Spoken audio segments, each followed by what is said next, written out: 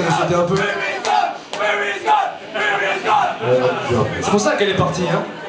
C'est parce que tu es une pauvre teigne. Tu fais pas tes devoirs, tu bois. On peut faire les deux.